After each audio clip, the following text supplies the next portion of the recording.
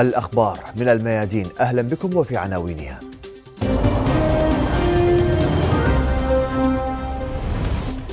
حزب الله ينعى السيد صفي الدين قائدا كبيرا وشهيدا عظيما على طريق القدس.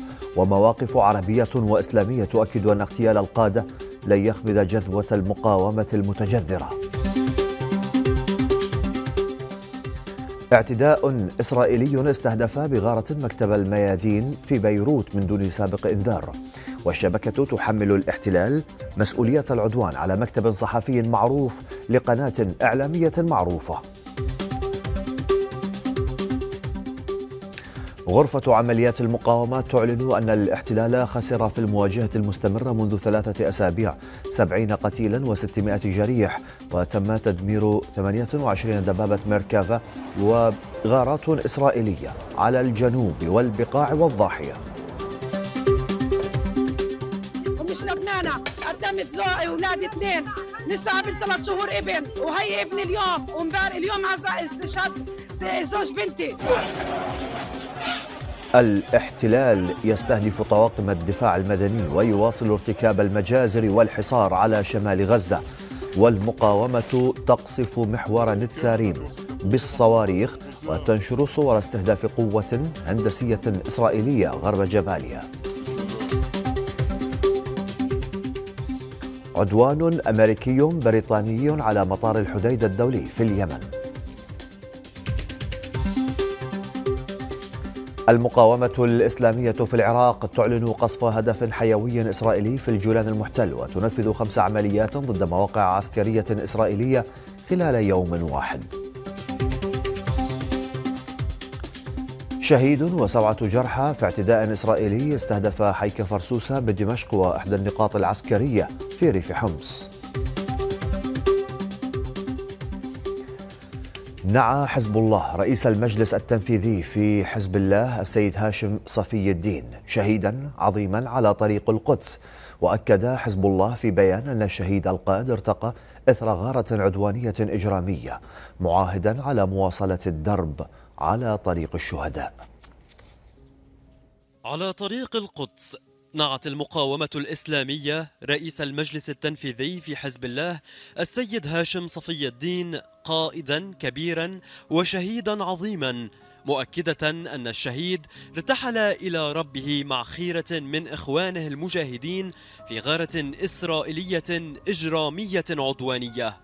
وأضافت السيد هاشم التحق بأخيه شهيدنا الأسمى والأغلى سماحة الأمين العام لحزب الله السيد حسن نصر الله ولقد كان نعم الأخ المواسي لأخيه. وكان منه بمنزلة أبي الفضل العباس من أخيه الإمام الحسين عليهما السلام فكان أخاه وعضده وحامل رايته ومحل ثقته ومعتمده في الشدائد والكفيل في المصاعب مضى على ما مضى عليه البدريون ناصرا لدين الله تقيا صالحا رائدا مدبرا مديرا قائدا وشهيدا.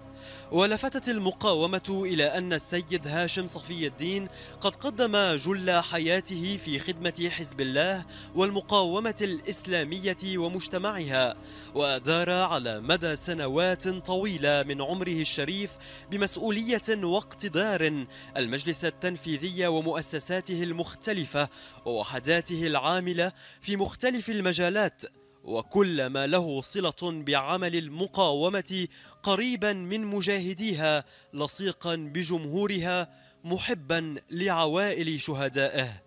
وختمت المقاومة قائلة نعاهد شهيدنا الكبير وإخوانه الشهداء على مواصلة طريق المقاومة والجهاد حتى تحقيق أهدافها في الحرية والانتصار.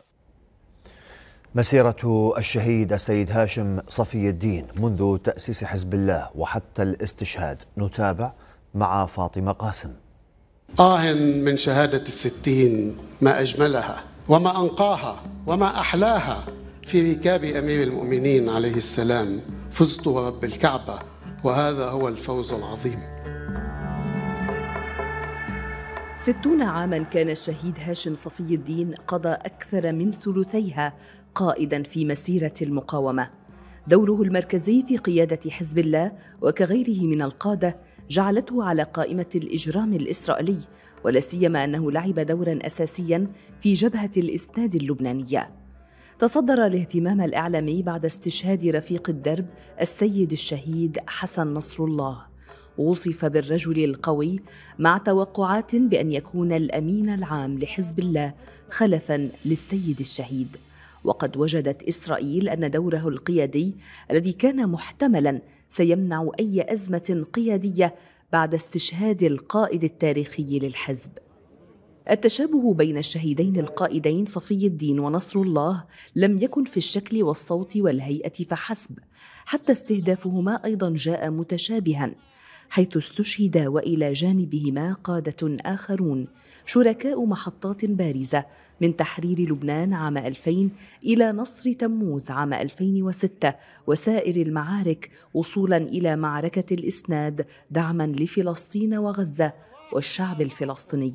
تاريخنا وبنادقنا وصواريخنا معكم وكل ما عندنا معكم لأننا نحن المقاومة التي وجدت في الأصل من أجلكم ومن أجل فلسطين والقدس. صفي الدين الذي شارك في تأسيس حزب الله أدار على مدى سنوات طويلة المجلس التنفيذي ومؤسساته المختلفة ووحداته العاملة في مختلف المجالات وكل ما له صلة بعمل المقاومة قريبا من مجاهديها ولصيقا بجمهورها كما جاء في بيان نعيه.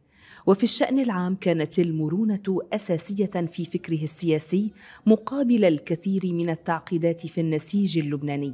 اقتصر ظهوره العلني على مناسبات محدودة رغم الخطابات المتقنة والدقة في المضامين، وهو كان تلقى تعليما دينيا في مراكز وحوزات في لبنان والعراق وإيران. ما تشاركه مع جمهور المقاومة أنها تقوى بشهدائها القادة وإذا رحل قائد سيد قام سيد قائد. فاطمة قاسم الميادين. هذا المستقبل نراه واضحا بأعيننا وبقلوبنا وبإيماننا. نراه مستقبلا بلا دولة إسرائيل لأن المآل الطبيعي لهذه المقاومة ولهذه الانتصارات هو أن تزال إسرائيل من الوجود ونحن لا نشك في ذلك ابدا. ونعت كتائب القسام السيد هاشم صفي الدين مشيدة بدوره في إسناد الشعب الفلسطيني ومقاومته. كما أكدت حركة حماس أن جرائم الاحتلال باغتيال قادة ورموز المقاومة لن تفلح بإخماد جذوة المقاومة المتجذرة.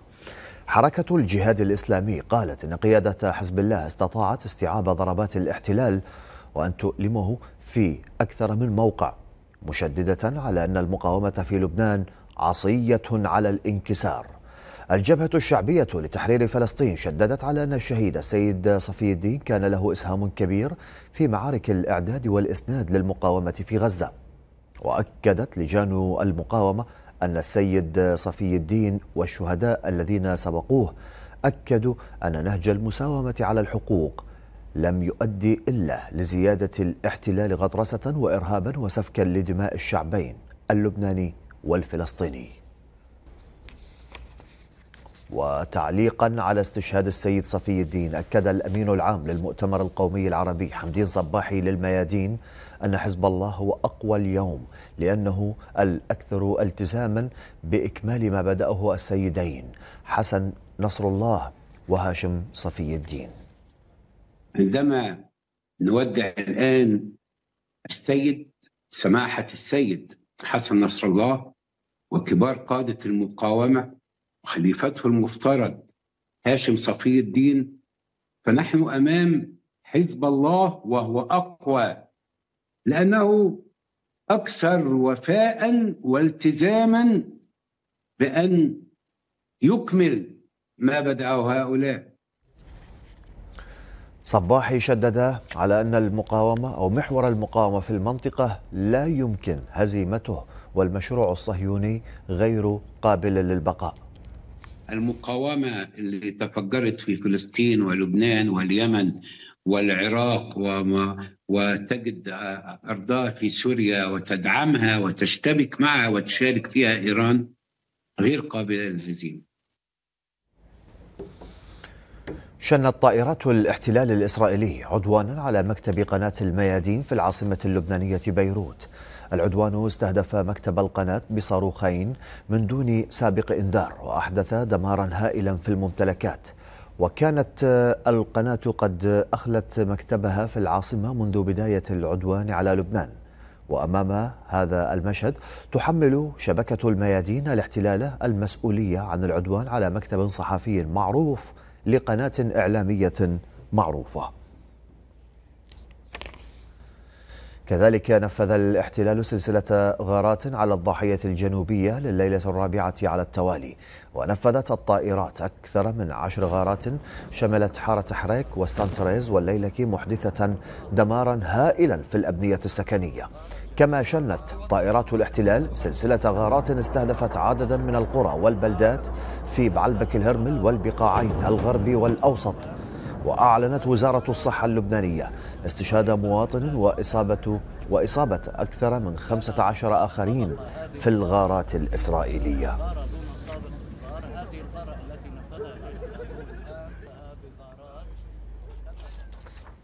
الآن إلى الزميل حبيب عز الدين هو معنا من محيط الضاحية الجنوبية لبيروت. مرحبا بك حبيب. إذا الليلة شهدت اعتداءات وصفت بالعنيفة كانت على مختلف مناطق الضاحية الجنوبية لبيروت. الآن في ساعات الصباح الأولى كيف تبدو الأوضاع في الضاحية؟ وأيضا أبرز ما حملته الساعات الماضية. نعم يعني يبزغ فجر الرابع والعشرين من شهر أكتوبر على الضاحية الجنوبية التي ما زالت تتعرض لاعتداءات إسرائيلية منذ أكثر من ثلاثة أسابيع. على بدء العدوان الإسرائيلي الكبير على مختلف المناطق اللبنانية. كانت آخر هذه الاعتداءات مجموعة من الغارات استهدفت مختلف المناطق في الضاحية لا سيما برج البراجني والحدث هاتان المنطقتان التي اللتان حذر نشر الاحتلال الإسرائيلي تحذيرات مسبقة لضربهما بالإعتداءات وبالصواريخ. من بين هذه الاعتداءات أيضا استهداف مكتب الميادين بصاروخين أدى إلى تدمير الشقة التي تحتوي تحوي هذا المكتب. ولكن هذه الغارة جرت من دون سابق إنذار. عموما إن كان مع إنذار أو إن كان من دون سابق إنذار فهو عدوان واحد إسرائيلي. وبالتالي فإن حتى العدوان الذي يكون قد سبقه إنذار فهو بطبيعة الحال ليس عدوانا مبررا هو عدوان يستهدف المباني السكنية عشرات المباني في الضاحية الجنوبية أصبحت متضررة عدد كبير من المباني مدمر بشكل كامل من جراء الصواريخ التي تعتدي فيها الطائرات الحربية الإسرائيلية بالصواريخ الثقيلة التي تخرق أرضية المباني وتهدم المباني وأساسات المباني بشكل كبير وتؤدي إلى أضرار كبيرة في مباني وأحياء وبيوت المدنيين. هذه الاعتداءات متواصلة. كانت آخر وأعنف الاعتداءات غارة إسرائيلية استهدفت منطقة سكنية في منطقة الحدث وبجانب محطة للوقود وهي ليست المرة الأولى التي تستهدف فيها الطائرات الإسرائيلية نقاط بجانب محطات وقود. ويقصد من ذلك في بعض الأحيان أن أن يتم تفجير أو تنفجر المحطة الوقود وخزانات الوقود الواقعة تحت الأرض من جراء العصف الانفجاري التي تحدثه الصواريخ. وبذلك تحدث هذه الغارات انفجارات كبيرة وألسنة لهب عالية وضخمة يقصد من خلالها إعطاء صورة للإعلام العالمي من خلال عدسات الكاميرات عن الضربات الإسرائيلية التي تتعرض عليها الضاحية. إذا هذه الاعتداءات متواصلة مع العلم أن التحذيرات التي أطلقها جيش الاحتلال بدا لنا أنها أنها لم تضرب جميعها مساء أمس الأربعاء. لذلك من المتوقع أن تستكمل هذه الاعتداءات اليوم في النهار أو في الساعات المقبلة. دائما الاعتداءات الإسرائيلية متوقعة في أي وقت. الاحتلال الإسرائيلي يعني لا يلتزم بوقت لا ليس لديه يعتدي إن كان بإنذار أو بسابق إنذار على مختلف المناطق وهو طبعا بسياسة التحذير يقصد بذلك الترهيب و, و يعني الترهيب الإعلامي وإرعاب المواطنين ال ال الآمنين والأبرياء القاطنين في محيط هذه المناطق المستهدفة. عموما محمد المشهد حتى الآن هدوء يسود الضاحية الجنوبية منذ ما بعد منتصف الليل. اليوم نهار جديد. قد يكون قد يكون حافلا بالاعتداءات وقد وقد يكون هادئا. هذا نعم. هذا يعني بحسب بحسب تطورات الميدان وبحسب ما ما ما يستجد في الميدان بشكل عام. حتى الآن الأجواء هادئة عقب سلسلة الانفجارات والغارات التي شهدتها الضاحية مساء أمس الأربعاء. آه هذا هو المشهد بشكل عام محمد وبطبيعة الحال يعني ننتظر أي جديد. ونحن أيضا سنتابع التفاصيل معك أولا بأول. شكرا جزيلا لك الزميل حبيب عز الدين من محيط الضاحية الجنوبية لبيروت. في اتصال مع الميادين قال وزير الإعلام اللبناني في حكومة تصريف الأعمال زياد مكاري أن الحكومة ستتخذ الإجراءات المتعلقة بالعدوان على الميادين وتقوم بمراسلات مع الجهات الدولية دائماً المعنية. إسرائيل دائما إسرائيل تريد إسقاط الحقيقة. وهيدا حقيقة بالنهج يلي بيتبعه جيش العدو الإسرائيلي وبمخططات إسرائيل هي أنه تقتل الكلمة وتقتل كل من يقول الحقيقة. نحن طبعا يعني كلمات الاستنكار ما بتنفع وكلمات الشكاوى كمان ما بتنفع. الشيء الوحيد يلي بينفع هو إنه الميادين تستمر. وأنا بعتبر إنه هي أكيد قناة حتستمر قناة تمثل مئات آلاف من المشاهدين بالعالم كله سوا بس هذا ما بيمنع ابدا إنه الحكومة أكيد أنا بأكد إنه رح تاخذ إجراءات قريبة جدا بخصوص هذا الموضوع وإنه بعتقد كمان رح يكون في مراسلات مع منظمات أممية معنية بحماية الصحفيين بالعالم. وفي مقابلة مع الميادين استنكر القيادي في حركة حماس محمود المرداوي العدوان على الميادين المرداوي أكد أن ما تقوم به القناة عمل رائد يكشف الحقيقة. نستنكر هذا العدوان على هذه القناة الوطنية ونؤكد أن العمل الذي تقوم به قناة الميادين عمل رائد لأنه يكشف الحقيقة والعدو يريد من خلال مقص الرقابة وتجنيد الإعلام لخدمة الرواية وإخفاء الحقيقة على الجبهة. ننتظر يعني رئيس كرمائيلي حتى يقول لنا أنه قتل في بلدته 17 صهيوني وجرح المئات. لم نسمع بواحد منهم في الإعلام الإسرائيلي. فبالتالي عندما تأتي الميادين وتقدم الرواية وتقدم المشاهد التي والمعارك التي تدور في الجنوب وتسقط أول شيء رواية المتصهينين. عبر أمين سر المجلس السياسي الأعلى في اليمن ياسر الحوري عن التضامن الكامل مع قناة الميادين وأكد أن الاحتلال يعمل على طمس وإخفاء جرائمه التي كشفتها الميادين. بدورها الجبهة الشعبية لتحرير فلسطين قالت إن الميادين ستظل ورغم كل التحديات وفية لرسالتها الثقافية والسياسية المبدئية على طريق الحرية. من جهتها دانت الهيئة الإعلامية لأنصار الله استهداف إسرائيل لقناة الميادين كما دانت حركة المجاهدين الفلسطينية العدوان على مكتب الميادين وأكدت أنه يأتي ضمن الحملة الإسرائيلية الممنهجة التي تستهدف القناة ووسائل الإعلام الحرة.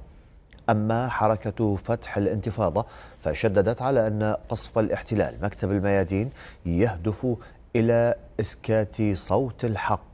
الذي تمثله القناة. المقاومة الإسلامية في لبنان نفذت أكثر من ثلاثين عملية الأربعاء ضد مواقع الاحتلال وتجمعاته. وقصفت المقاومة شركة تاعس للصناعات العسكرية كما قصفت قاعدة جليلوت التابعة لوحدة الاستخبارات العسكرية 8200 في ضواحي تل أبيب. وقاعدة زوفولون للصناعات العسكرية شمال مدينة حيفا ومستعمرة نهارية. كما وجهت المقاومة صليات صاروخية نحو تجمعات الجنود في كل من أطراف بلدتي رامية وحولة.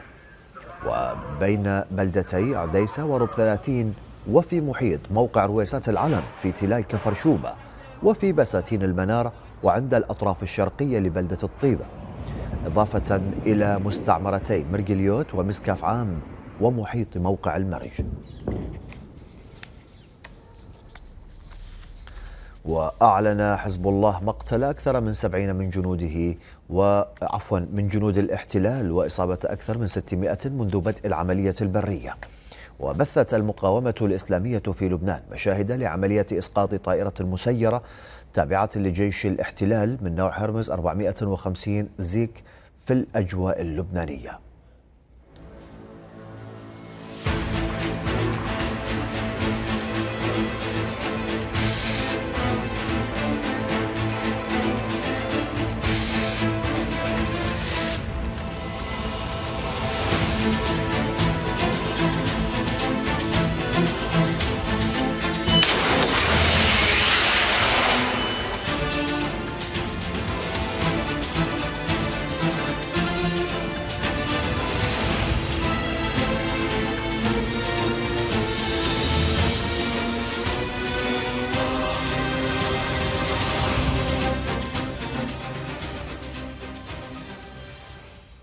كما نشرت المقاومة الإسلامية مشاهد لقصف مستوطنة نهارية.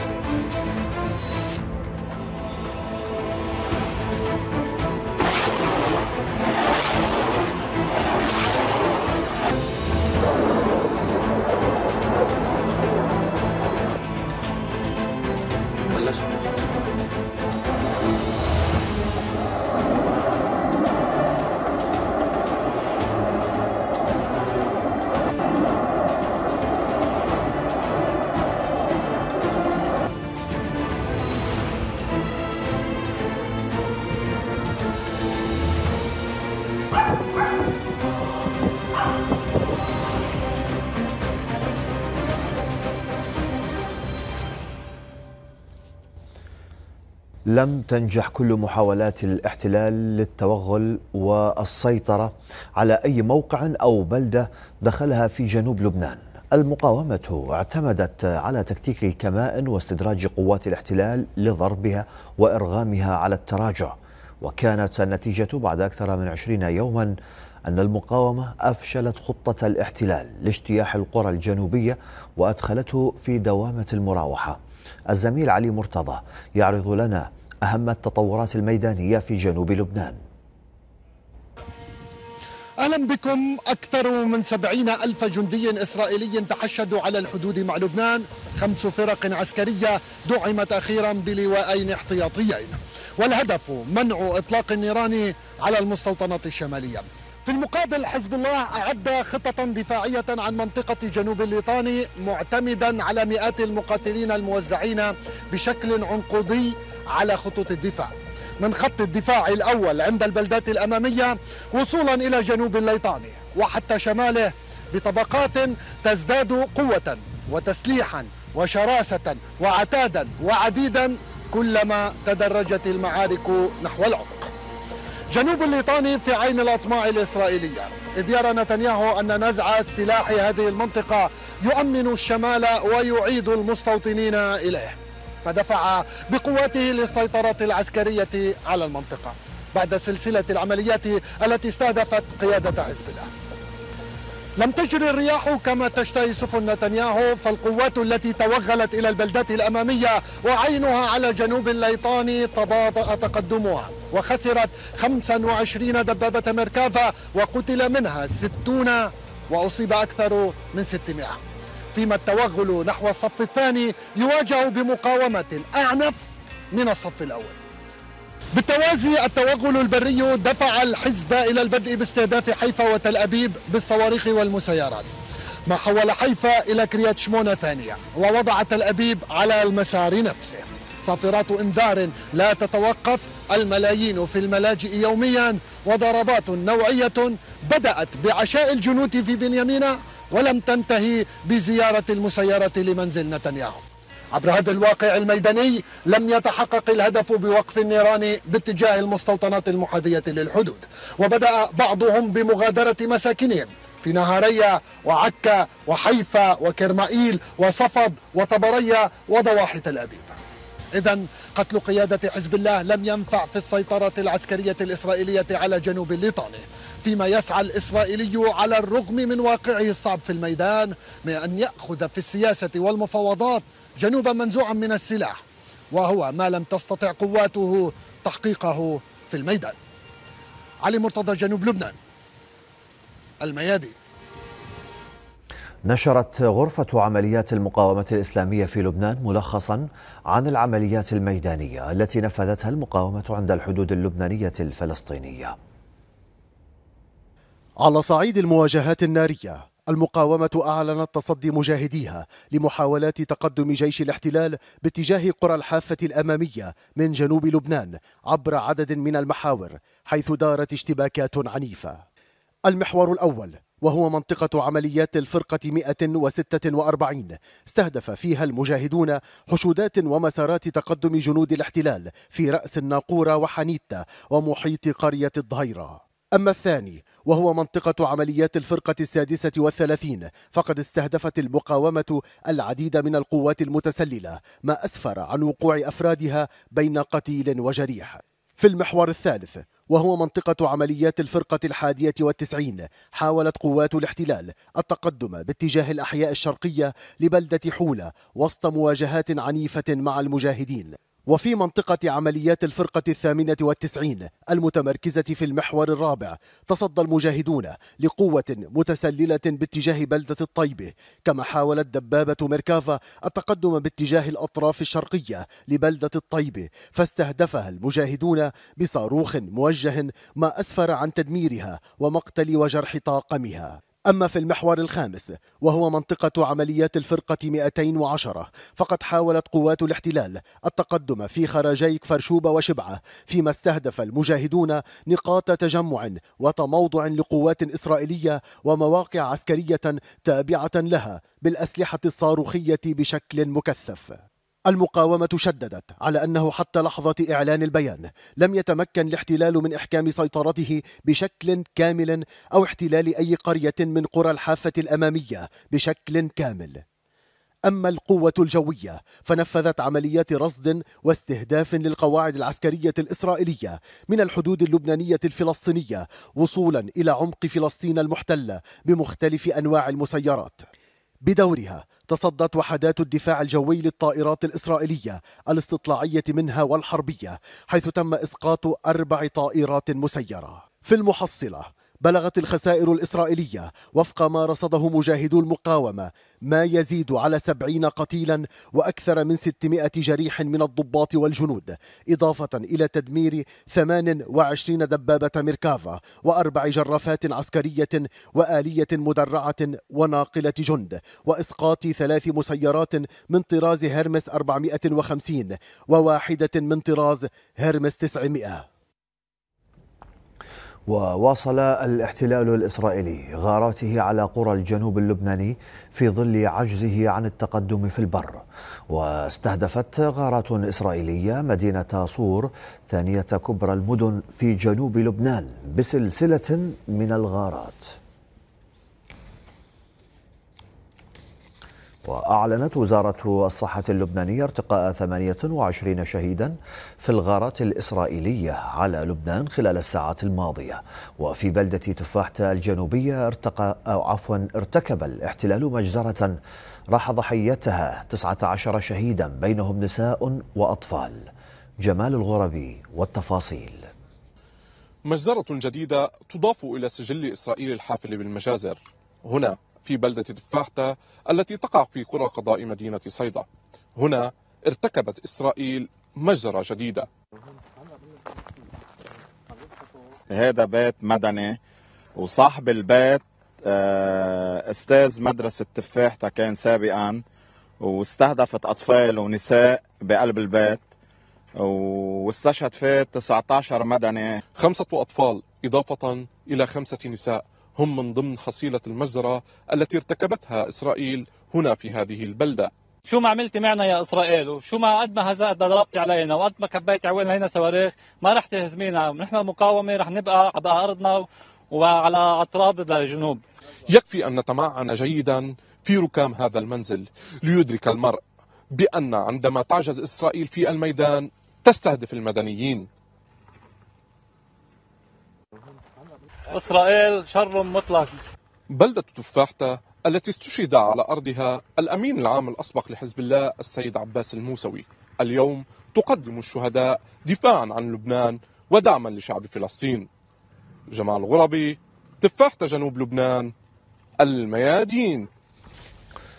فتح سنتر الساحل التجاري أبوابه أمام وسائل الإعلام كافة لدحض الادعاءات الإسرائيلية بوجود أنفاق ومخازن أسفل المركز. الزميل حسين السيد شارك في هذه الجولة وأعد هذا التقرير. نحن موجودون حاليا من أمام مستشفى الساحل تحديدا من سنتر الساحل الذي ادعى الاحتلال وجود مخازن آه، في الطابق الثاني في أسفل هذا المكان وهذا المجمع الذي يحوي عيادات كما نشاهد ويحوي محلات تجارية. سوف ننتقل بالصورة وننزل إلى الأسفل تحديدا من حيث ادعى الاحتلال وجود هذه الأماكن الذي ادعى أن المقاومة تخزن فيها أموال أسفل هذا المجمع التجاري الضخم. كما نشاهد هذا عبارة عن موقف سيارات. هذه غرفة ادعى الاحتلال أنه يوجد بداخل هذه الغرف أموال. كما نشاهد هي غرفة قديمة جدا. نلاحظ هذه المحلات أسفل آه هذا المبنى.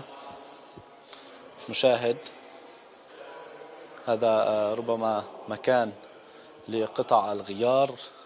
هذه الصناديق الموجودة في هذا المرأب للسيارات. نستطيع أن نشاهد أيضا ونفتح هذه الصناديق. هي معدات طبية على ما يبدو للعيادات المتواجدة هنا. نستطيع أن نفتح هذه البوابة الآن وننظر ما بداخلها. هذه البوابات التي ادعى الاحتلال أن بداخلها مخازن للأموال.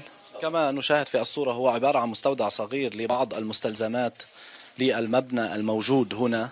نحن هلا متواجدين بال minus two آه، ال block B اللي هو سنتر ال block الشرقي من سنتر الساحل اللي هو موضوع الزعم إنه في كمية من الأموال النقدية والأموال آه، المعدنية أو الذهب.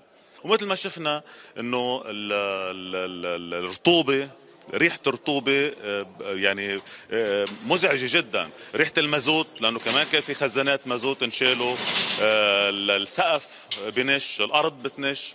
بالصوت والصورة وبشهادات المستأجرين والملاك استطعنا أن ندحض الادعاءات الإسرائيلية بوجود أي مخازن للأموال في أسفل مبنى أو سنتر الساحل. حسين سيد ضاحية بيروت الجنوبية الميادين وفي باريس بحث الرئيس الفرنسي إيمانويل ماكرون التطورات في لبنان مع رئيس حكومة تصريف الأعمال اللبنانية نجيب ميقاتي. ميقاتي وفي تصريح صحفي أكد أن لبنان لا يمكنه الالتزام بشيء قبل أن يلتزم الإسرائيلي بوقف إطلاق النار وعندها يمكن مناقشة الأمور. وأضاف أن المفوض الأمريكي أموس هوكستين زار لبنان. لكن العروض المطروحة لا تزال قيد الحوار ولم تحسم بشكل نهائي حتى الآن. هذا وتنطلق اليوم في باريس أعمال المؤتمر الدولي لدعم لبنان الذي دعا إليه ماكرون بمشاركة العديد من الدول.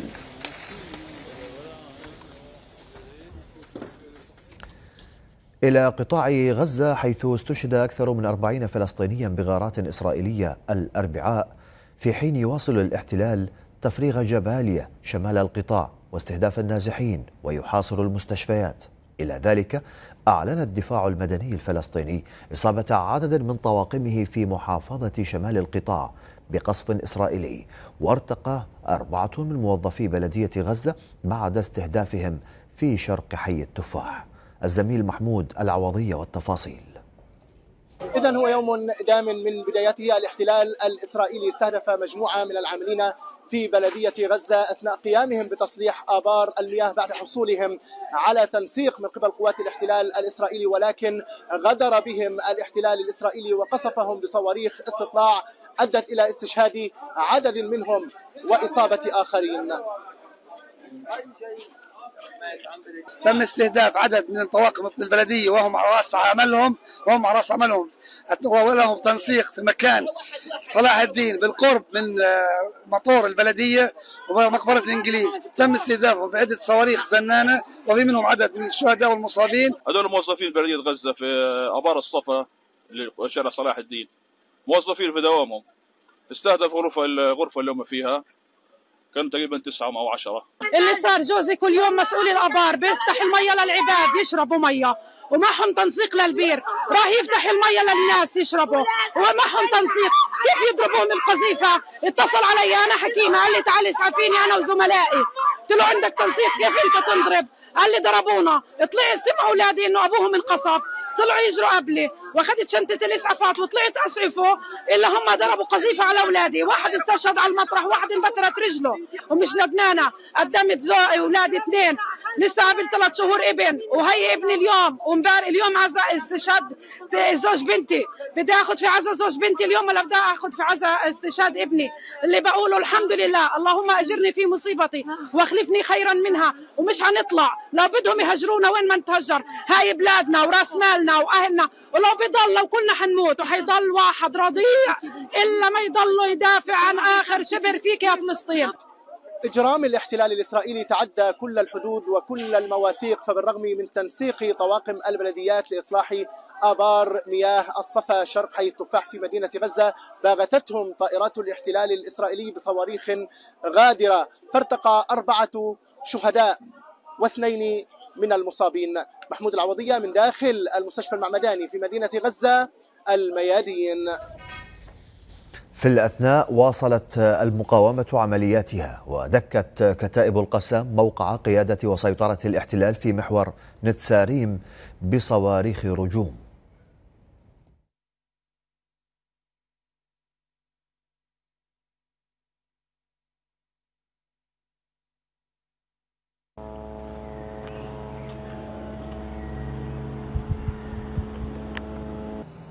بسم الله.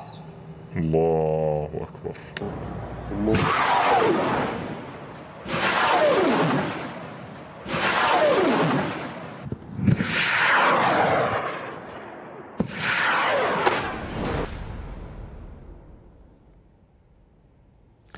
كتائب القسام عرضت مشاهد من إيقاع قوة هندسة إسرائيلية في كمين محكم جنوب دوار الصفطاوي غرب مخيم جباليا وأوقعت عناصرها بين قتيل وجريح.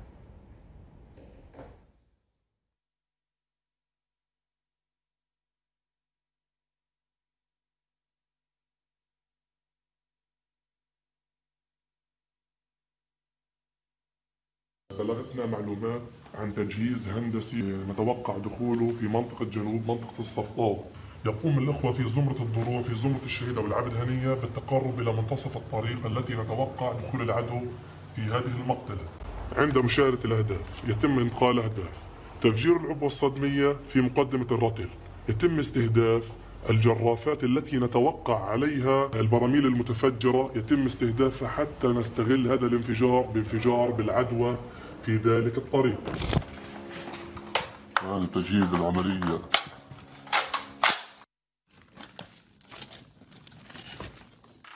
خطة جنرالات قلت لي. آه اعتبره راس جندي.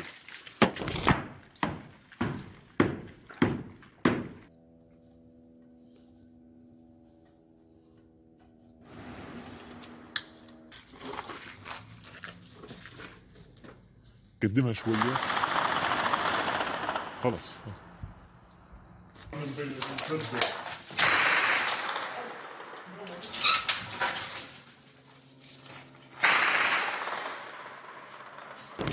بسم الله.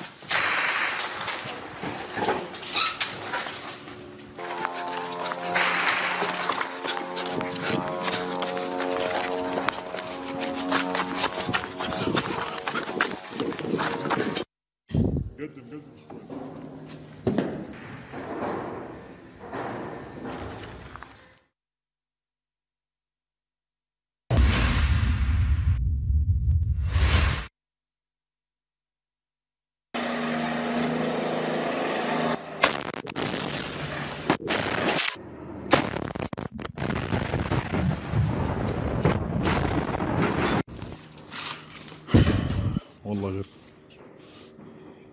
إن شاء الله ضربتنا إن شاء الله حتتوفق بإذن ربنا بإذن ربنا. حتكون فداء لكل شهداء أهل مخيم جباليا أهل الصمود إن شاء الله أهل الجنة بإذن الله. هم الذين صبروا وصمدوا على أرضهم ونحن والله لا نخجل منهم إذ منهم نستمد القوة بعون الله. بسم الله الله أكبر الله أكبر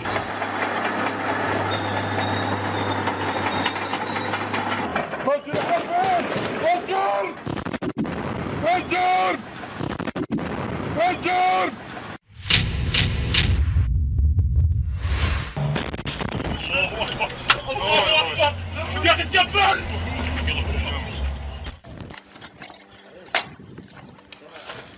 ها هم مجاهدو القسام يقلبونها على ظهرها في شوارع غزة العزة التي كانت وستكون مقبرة الغزاة.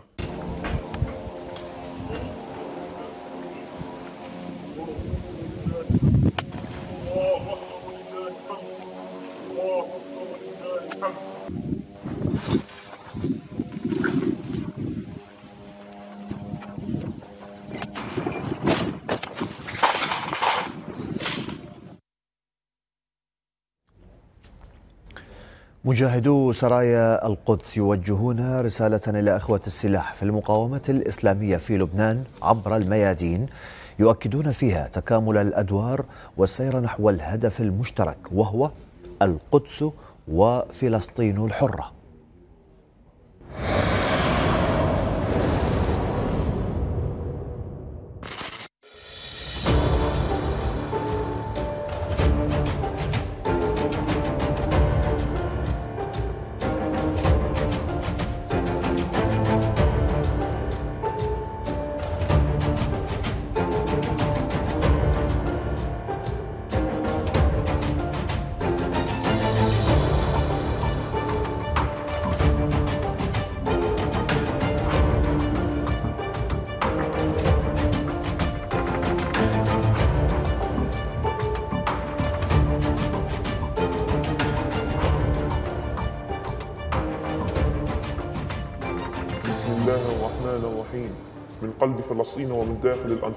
القتالية لسرايا القدس وفي ظل استمرار الحرب الصهيونية على قطاع غزة وتصاعد العدوان الهمجي على لبنان الشقيق ويمننا الحبيب نقول لأهلنا في القطاع ثقوا بمقاومتكم بعد الله عز وجل فهي بخير وتستمد قوتها من صمودكم وصبركم.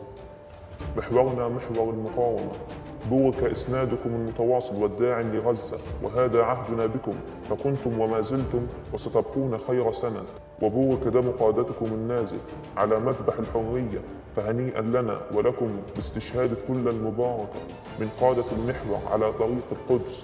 وهنيئا لهم هذه المكرمة الربانية فلا يليق بهم بعد مشوارهم الجهادي الطويل في مقارعة الأعداء إلا الشهادة. قادة ومجاهدي المقاومة الإسلامية في لبنان نحن على ثقة ويقين أنكم ستكملون الطريق الذي رسمه السيد حسن نصر الله بدمه.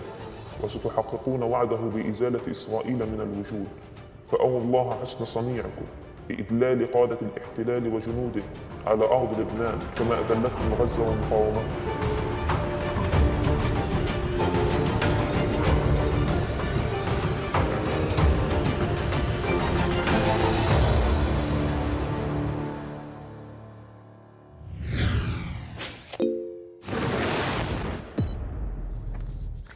أزمة خبز كبيرة تواجه سكان القطاع بفعل عدم سماح الاحتلال بإدخال الوقود والدقيق اللازم لعمل المخابز التي تلبي الحد الأدنى من متطلبات النازحين من الخبز وهو ما تسبب بازدحامات شديدة أمام المخابز التي قلصت بالأساس من ساعات عملها بفعل الأزمة.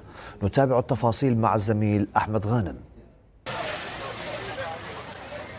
أنا الآن أمام هذا المخبز الذي يعد الأكبر في المنطقة الوسطى. هذا المخبز مدعوم من برنامج الأغذية العالمي ولكن تشاهدون حجم الزحام الحاصل هنا على بوابات هذا المخبز فهناك أزمة كبيرة في الخبز بفعل عدم سماح الجيش الإسرائيلي بإدخال الخبز والوقود اللازمين لعمل هذه المخابز على مدار الساعة. هنا يصطف الناس طويلا ولساعات من أجل الحصول على ربطة خبز واحدة. وكما تشاهدون فإنهم يتجشمون عناء ساعات طويلة وتعب الوقوف لأجل الحصول على حصة من الخبز. الطحين مش موجود كل الأحيان والناس كثيرين هنا في دير البلح فعشان هيك بتلاقي الأزمة موجودة. الوكالة مقصرة من ناحية توريد الطحين مش قادرين نجيب خبز بالمرة زي ما أنتم شايفين. كيف؟ ربطة الخبز جوا بتنباع برخيص بس إحنا مش عارفين نشتريها من برا. هاي أنا واقفة مش عارفة كيف بدي آخذ من جوا. إذا دخلنا جوا رح ننضرب. يا مصارينا بتقع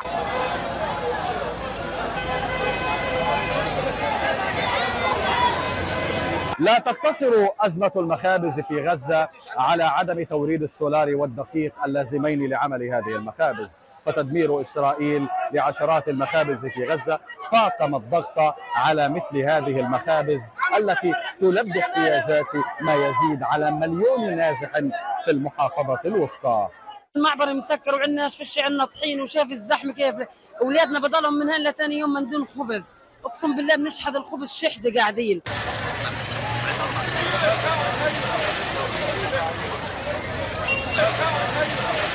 تستكمل إسرائيل حرب الإبادة بالتجويع حيث تقول مؤسسات دولية أن معدلات انعدام الأمن الغذائي ارتفعت في صفوف النازحين في قطاع غزة إلى ما يربو على 90% من وسط القطاع أحمد غانم الميادين. أعلنت المقاومة الإسلامية في العراق سرايا أولياء الدم قصف هدف حيوي في الجولان المحتل بالطائرات المسيرة. المقاومة العراقية أعلنت أيضا أنها قصفت فجر اليوم هدفا عسكريا في شمال الأراضي المحتلة بواسطة الطيران المسير. وكانت المقاومة الإسلامية في العراق نفذت خمس عمليات منفصلة بواسطة الطيران المسير ضد مواقع تابعة للاحتلال الإسرائيلي في الجولان والأراضي الفلسطينية المحتلة.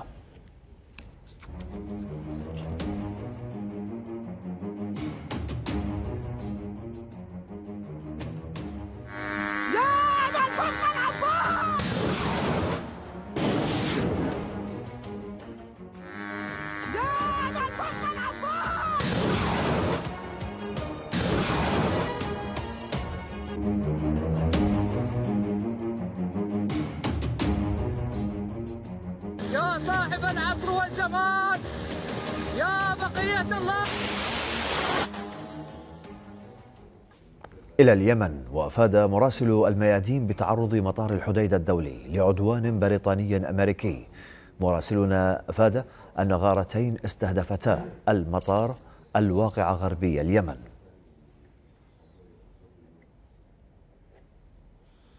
استشهد جندي سوري وأصيب سبعة مدنيين آخرين في اعتداء إسرائيلي فجر اليوم على سوريا. وأكد مصدر عسكري سوري أن الاعتداء الإسرائيلي استهدف منطقة المزة بدمشق من جهة الجولان المحتل. فيما استهدف إحدى النقاط العسكرية في ريف حمص أيضا من اتجاه شمال لبنان.